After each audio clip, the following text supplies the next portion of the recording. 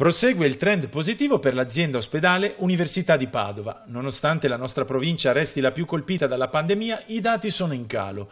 Sono 1601 gli attualmente positivi nel territorio euganeo, meno 471 rispetto allo scorso mercoledì.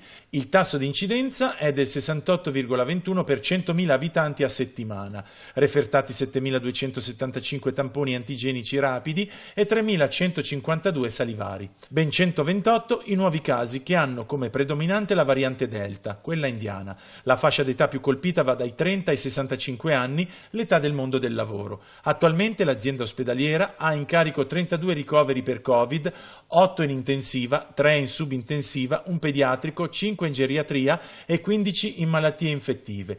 Di questi ricoverati 15 non sono vaccinati e 17 sono vaccinati. Il più anziano ha 95 anni e la più giovane una 37enne non vaccinata con problemi di sovrappeso. In terapia intensiva intensiva c'è questa persona molto giovane, ricoverata, non vaccinata, e che come dire, sottolinea ancora una volta l'importanza della vaccinazione.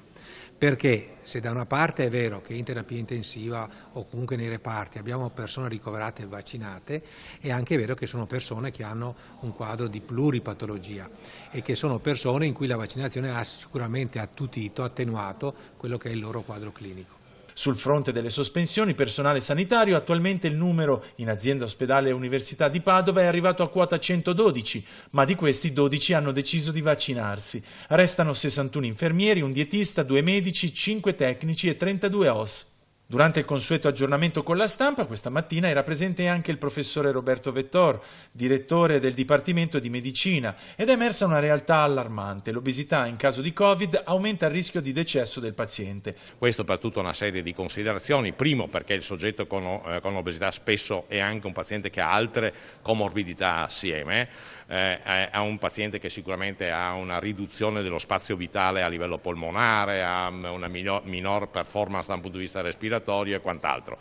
Può essere anche diabetico e così via. Questo peggiora sempre di più. L'Italia rispetto all'Europa detiene il primato per questa patologia, con 5 milioni che soffrono di obesità e 17 milioni di persone in sovrappeso. Molti sarebbero adolescenti o bambini. In Veneto il 21,4% dei bambini, uno su tre, ha seri problemi di peso.